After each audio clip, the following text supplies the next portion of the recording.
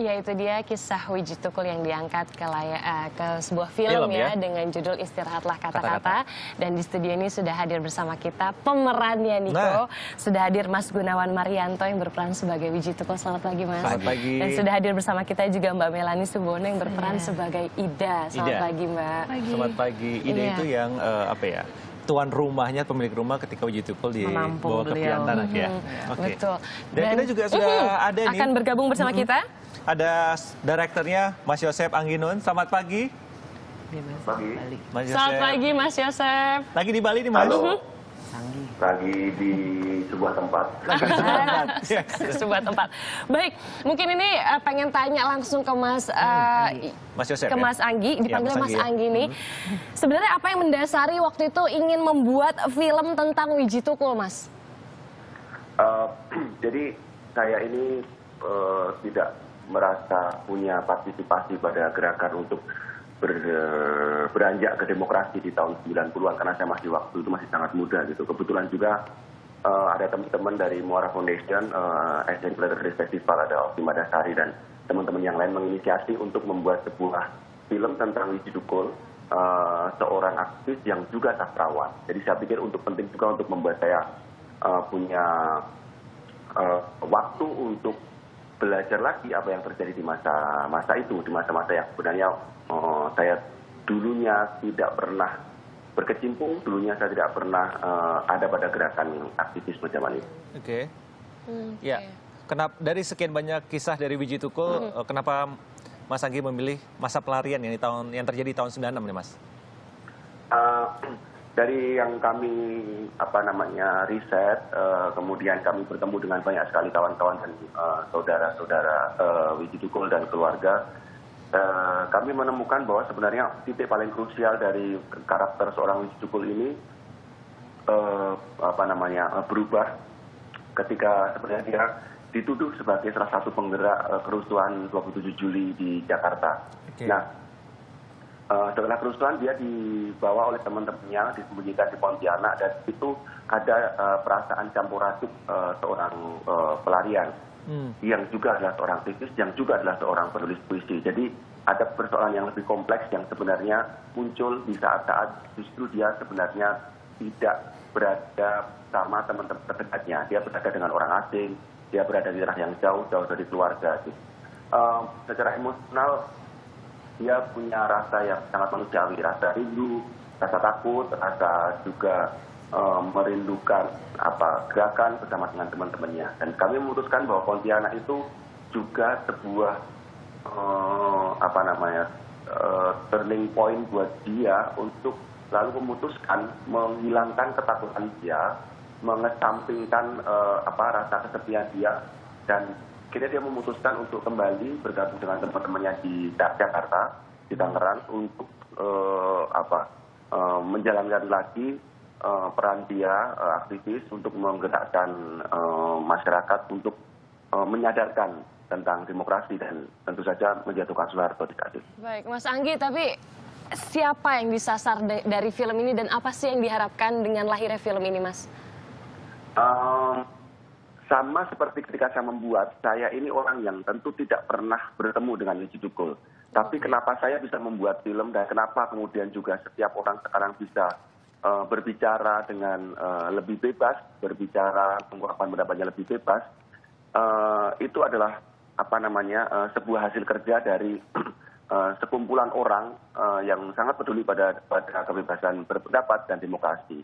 Harapannya adalah uh, film ini ditonton oleh sebanyak-banyak orang. Orang muda, orang-orang yang dulu pernah aktif dalam sebuah gerakan uh, uh, aktivisme atau gerakan-gerakan menuju demokrasi. Yeah. Ya. Uh, terlebih untuk anak-anak muda yang bisa jadi memang tidak pernah paham atau tidak pernah tahu sebelumnya bahwa Baik. kebebasan yang dihirup saat ini adalah kebebasan yang tidak semen, uh, semata-mata muncul, tapi adalah hasil dari sebuah perjuangan. Baik. Nah, problemnya sekarang adalah karena seolah-olah semuanya menjadi bebas tanpa ada uh, apa namanya tanpa uh, saringan gitu. Hmm. Padahal sebenarnya kalau kita mau Wiji Dukul uh, menyuarakan banyak sekali uh, puisi kata-kata uh, yang uh, membebaskan akan tetapi dia juga punya uh, apa namanya segudang uh, um, referensi segudang bacaan yang menjadikan kata-kata yang dia katakan, kata-kata yang dia tulis itu kata-kata yang uh, uh, kuat, kata-kata yang punya makna yang mendalam, bukan asal keluar-keluar. Baik, ya. Mas Anggi, kita akan lanjutkan nih berbincang dengan pemeran dari film Wiji Tukul. Yes. Ya, Niko ya. Mm -hmm. Nah ini Mas Gunawan, waktu dipercaya memerankan sosok, mungkin bisa dibilang bukan sosok yang biasa, gitu. sosok seorang Wiji Tukul itu apa kesulitannya Mas? Yang paling sulit adalah, uh, pertama sosok Wiji Tukul itu kan, pertama dia dia dia itu seorang tokoh ya yang uh -huh. yang masih segar juga dalam ingatan banyak orang uh -huh. di keluarganya, teman-temannya. Sementara uh, data yang bisa saya dapatkan juga nggak terlalu banyak selain cerita ya. Mhm. Foto-foto nggak banyak, kemudian juga video footage juga nggak banyak. Jadi uh, saya mesti merangkai uh, cerita dari dari teman-teman, dari keluarga itu, juga dari uh, dokumentasi yang terbatas itu. Oke, itu berapa lama untuk melakukan riset sampai -hmm bisa menghayati padahal belum bertemu, pernah bertemu kan sama seperti halnya Mas Anggi tadi. Uh, iya, memang saya secara personal belum pernah berkenalan, bertemu gitu. Jadi prosesnya juga agak panjang, sekitar mungkin tiga bulan ya, tiga bulan. Uh, saya pikir itu juga sangat terbatas uh -huh. waktunya untuk untuk menemukan itu semua. Uh -huh. Jadi Kemudian yang saya saya lakukan adalah uh, berangkat dari puisi-puisinya, mencoba menyelami puisi-puisi Wiji Dukul untuk kemudian menemukan uh, jiwa dari dari Wiji Dukul ini. Okay, baik. baik. Nah sekarang uh, Mbak Melanis ini sebagai Ida, ya. ya bagaimana tanggapnya tanggapannya nih Mbak kemudian perannya? Kan seorang Ida. Iya. Menurut gue ya aneh. Pertama karena gue tidak pernah acting ya, nggak pernah main film dan nggak pernah itu agak di luar ranah gue deh gitu. Mm-hmm. Uh, jadi pas pertama kali diajak dikasih tahu sama keluarga please main ya serem. Pertama gue tidak pengen karena gini, aku orang yang bisa ada di sini salah satunya karena perjuangan seorang Wiji Tukul. Mm-hmm. Aku sangat mengikuti karya-karya dia. Okay. Apa yang aku lakukan hari ini sebagai seniman maupun aktivis sangat salah satunya ya gara-gara kalau nggak ada beliau mungkin aku juga nggak ada hari ini. Oh. Jadi beliau buat aku tuh salah satu tokoh besar. Aku juga bawain sajaknya dibuat dalam lagu bareng anaknya Fajar. Aku uh, banyaklah hidup dari karya-karya beliau.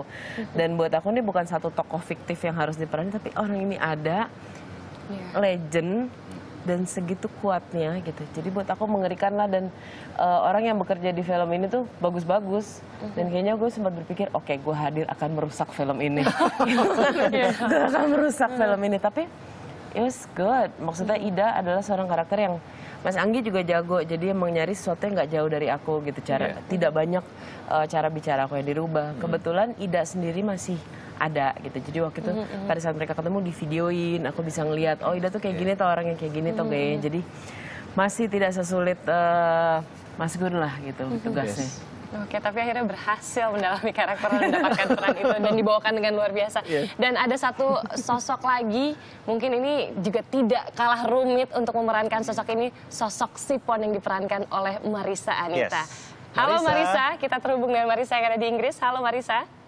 Halo, halo Yes. Halo Niko. Halo, halo Kak Kani. Hai. itu dia. Yes, Marisa, ini bagaimana caranya mendalami peran Sipon hmm. istri dari Wiji sendiri? Yes, uh, ini sebenarnya ceritanya sangat menarik tapi saya bikin pendek aja. Jadi uh, sebetulnya saya awalnya tuh ditawarin nggak main jadi Sipon gitu ya. Ada hmm. kayak semacam ada salah satu peran itu yang tidak tidak terlalu demanding gitu menjadi uh, apa salah satu peran pembantu lah. Nah kemudian ketika akhirnya uh, workshop dengan Anggi Nun sutradara, sutradaranya dia bilang bahwa kayaknya kamu kamu mau nggak kalau misalnya jadi sipon aja gitu. Udah gitu saya pada saat itu sempat kaget gitu. Saya bilang waduh, wah jangan sembarangan Gi. Ini kan uh, bukan apa ya, bukan sosok yang biasa gitu loh. Hmm. Kamu yakin aku bisa gitu? Ya kamu pasti bisa kok terus akhirnya ya uh, berhubung saya sudah dipercaya sama Angginun akhirnya saya ambil tantangan itu dan memang uh, apa ya untuk mendalami Sipon ini uh, saya tuh sengaja tidak dipertemukan dengan Sipon karena memang Angginun tidak mau saya apa ya mengkopi okay. mengkopi okay. gerak tubuhnya dan sebagainya karena memang Sipon menurut Angginun dan juga produser dari film ini uh, Yulia dia bilang bahwa Mbak Sipon yang sekarang tuh berbeda dengan yang dulu. Jadi kamu nggak bisa uh, mengimitasi Mbak hmm. Sipon yang sekarang. Jadi yang Andi Nun minta dari saya adalah yang kamu dalami itu perasaannya jadi bagaimana saya mendalami itu? Saya baca karena uh, beberapa tahun silam itu ada uh, edisi Tempo, edisi khusus Wiji Tukul. Itu akhirnya saya baca habis. Kemudian saya nonton dokumenter yang mendokumentasikan uh, Wiji Tukul beserta Mbak Sipon dan juga dua anaknya. Okay. Dan juga beberapa media lain yang pokoknya saya makan habis lah istilahnya. Hmm. Dari situ saya dapat bayangan, oh gimana ya rasanya jadi seorang istri, uh, seorang aktivis yang selalu hidupnya tuh dikejar-kejar. Hmm. Dia cinta sama suaminya, tapi di saat yang sama dia harus hidup dalam ketakutan. Dan itu adalah resiko yang harus dia hadapi. Gitu. Jadi uh, yang saya hadirkan dalam film Istirahatlah Kata-Kata ini adalah representasi dari rasa yang mungkin saat itu dirasakan oleh Mbak Sipon. Sipon, representasi Baik. perasaan ya. Oke. Okay. Itu dia. Terima kasih, Marisa. Marisa. Mm -hmm. Dan tentunya kita akan menantikan sekali bagaimana film dengan judul Istirahatlah Kata-Kata yang Januari, Januari ini, ya. Januari 2017 okay. akan hadir dan bisa dinikmati oleh semua. Terima kasih Mas Gunawan, terima kasih Mbak Melani untuk sharingnya pagi ini. Mm -hmm.